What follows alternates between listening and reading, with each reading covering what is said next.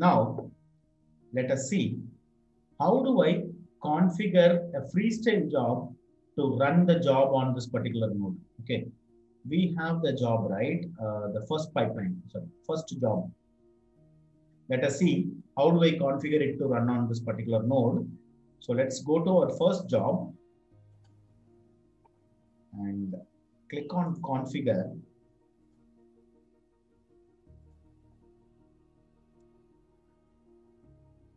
Then now you can see a additional option is being added in the general section. So restrict where this project can be run. Okay, select that and you can start typing the label.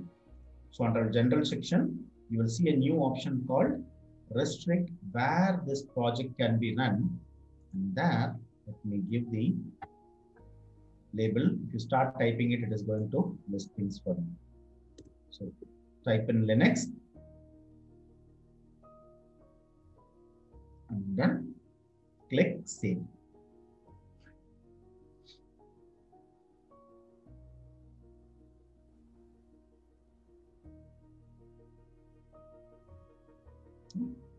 So let me save this and let me build the job and see what is happening. Build number 22 is getting started. If you see the console output, you can see it is saying building remotely on Linux. So this is the directory it is doing.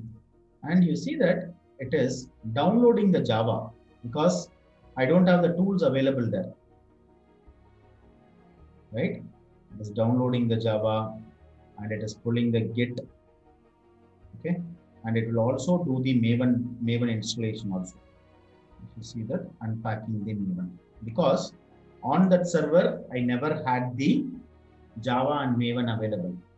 So as I am defining them in the tool, so the Jenkins automatically downloads them and it will execute that. This will run for some time because it needs to download all the dependencies, right? Because the dependencies were downloaded on my master, but this time it is running on the slave. You will get it has to download all the dependencies.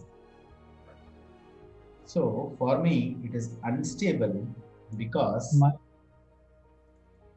it is not able to push the jar file to the remote because in the SSH configuration, what we have done is it should push the file to the local host. Okay, let me change it back to the public IP of the uh, master server, then they should work. So click on manage Jenkins in the configure system. So in the publish over SSH plugin, we have created the target server. There we have mentioned it as localhost. Okay, but uh, when it is running from the node uh, from the slave, localhost will not work. So let me instead of changing the instead of this host name, let me change it to the public IP of my Jenkins. Then it should work. yes, So yes, yes. configure Jenkins. Instead of host name, I'm going to put it as my public IP of my Jenkins server. Let me save this. And if I try to build it now, so previously we had local local host. Now I'm changing it to the public IP of the master there should not be any port number, nothing, only the IP address. So in the job I'm mentioning, I want this to be running on the Linux node. So master will allocate the job to the slave. The slave will execute it there on the server. Okay, that's that is the reason it is downloading the jar and the uh, it is downloading the JDK and Maven. All those things it's re-downloading and it is getting executed and it is giving the result back to the master put that information on my pipeline, like in a, how I'm how I can specify that it you should use that node in the pipeline. Okay, so the option is okay. Let's go to my let's go to my GitHub and first let me update my webhook URL, right? So my webhook, uh, previously I was using a different IP, right? That shouldn't be working. So let me just edit the webhook URL because the IP address is changed today, right? So let me get the master IP address. This is my master IP address and let me update it on my webhook.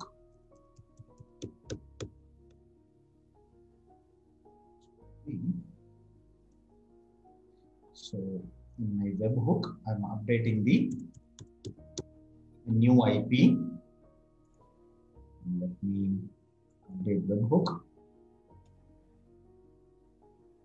Now let us go to the code and in the Jenkins file,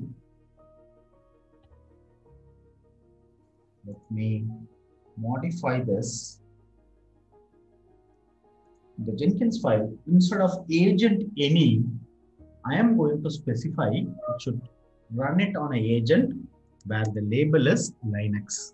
So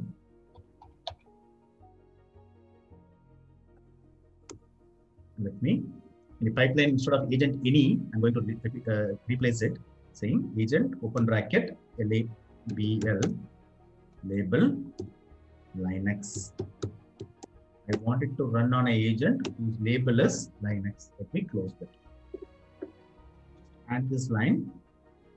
Instead of agent any replace it with this content.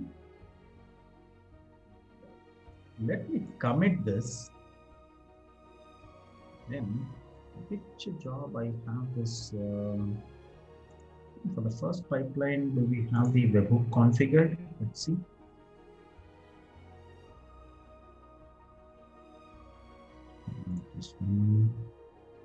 Yeah I think I have a webhook configured on the declarative pipeline. It should work now yeah. So it should have triggered a declarative pipeline. And if you see the console log of it, you can see it is running on Linux and it is doing the activity form. It should be completed now. So I have a job called declarative pipeline where the webhook is configured.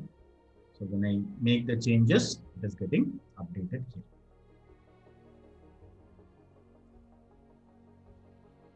done guys everyone the job got automatically triggered and it is successful